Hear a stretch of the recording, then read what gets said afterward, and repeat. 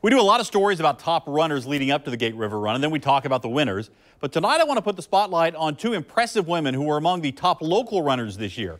Laura Campbell and May Barker not only were two of the fastest women in the field, they both recently gave birth. Campbell about five and a half months ago, and Barker less than a month before the river run. Barker ran up to the day before she gave birth, while Campbell didn't run at all while she was pregnant.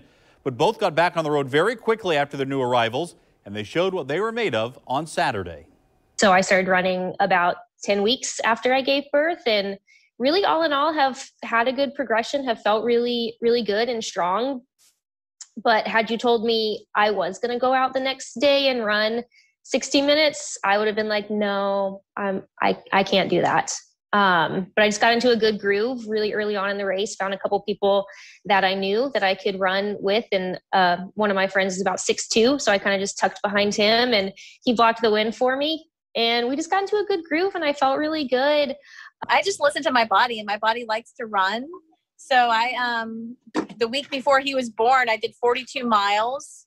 Um I did um, some races while I, I was pregnant with him and I, I just listen to my body. I don't do anything. If something feels wrong, then I stop.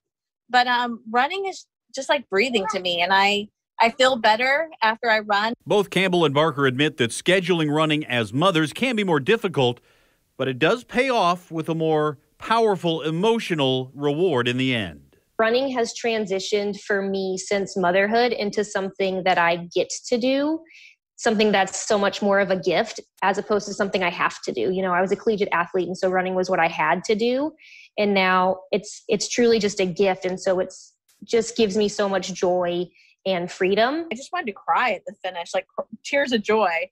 So, um and knowing that I'm coming back to the sweet baby here, who I know he's going to be a great runner, you know, just like his sisters. no, I, I, amazingly, Campbell said she wasn't really sure she was even going to race for time anyway until she was standing on the start line. By the way, I saw Barker and her family running three days before little Finnegan was born. Coming up at 11, we'll hear why both runners defied conventional wisdom and ran so soon after giving birth. Kent Joy?